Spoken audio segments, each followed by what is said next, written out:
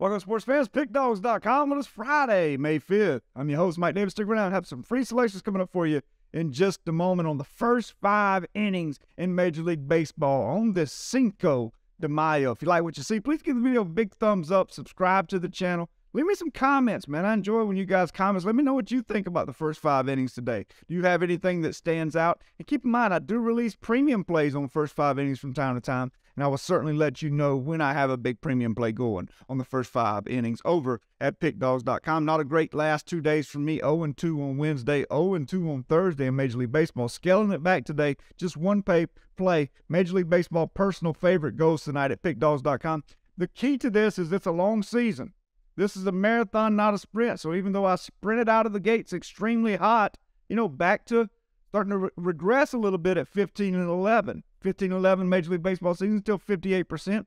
I like that, but at the same time, I'm looking to push that up above 60%. Having said that, when I'm not seeing the board well, I only do one play. I will narrow it down until I feel like I'm seeing it well again. And uh, I do that for myself personally, and I also do that for the clients because I believe that I owe that to them. So hope that makes sense. All my premium plays are found at pickdawgz.com. Let's get to your first five selections. I really like these three plays. I got three of them for you today. Red Sox Phillies 0 for 4 minus 120. Red Sox are riding high. They just swept the Blue Jays in a four game series. In fact, in their last six games, they've scored a whopping 47 runs overall absolutely destroying the baseball. Speaking of destroying the baseball, they are destroying right handed pitching right now. They're first in average at 280, third in OPS at 826, third overall against all pitching in runs per nine at 6.01 runs per nine innings. Wheeler's on the mound for the Phillies, and I believe he's their ace. Having said that, he's only faced one team this year that is really good against right handed pitching.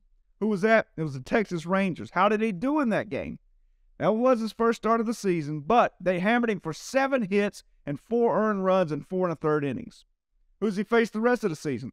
The Rockies, ranked bottom half against righties. The Reds, White Sox, Marlins, and Astros are all ranked in the bottom third against righties. So this is only the second team he's faced that can really hit right handed pitching. I look for the Red Sox to get to Wheeler tonight. Chris Sale on the bump for the Red Sox. Been really bad in his three road starts so far this season. Of course, Boston is at Philly tonight. He has pitched 14 innings, 20 hits, and 13 unearned uh, runs in those three away starts. Uh, Phillies are middle of the pack against lefties, but they are rested. They're happy to be home. They got swept in LA. They've lost four in a row. They didn't play yesterday. I look for them to have some um, uh, good at bats, some focused at bats is the word I'm looking for against Sale. And again, Sale has not been good on the road. I look for them to make him work. I look for them to score some runs against him. I look for this to go over the total of four. You are paying a little bit of a price at minus 120. Red Sox Phillies over four first five. Orioles versus Braves over four and a half. Let me tell you something. I know Max Fried is on the mound, but the Orioles smack around lefties. They do. They hit lefties well. 816 OPS, 272 average. And again, Fried has been really good. But uh, the Orioles are very good against lefties, and I look for them to score a run or two, maybe three, you never know, against Max Fried. Having said that, the Braves bats are absolutely on fire. 26 runs in their three game series uh, in Miami. They get to face Dean Kremer. They get to face Dean Kremer, right? Kremer has allowed four more runs in five out of his six starts this season. And in those five starts, only once did he pitch more than five innings, and that was five and two thirds innings. So, in other words, he's allowing all of his runs early in the game. The Braves will hit Kremer early and often. Uh, the Orioles could add a run or two, maybe three against Fried as well. So I like over four and a half Braves versus Orioles.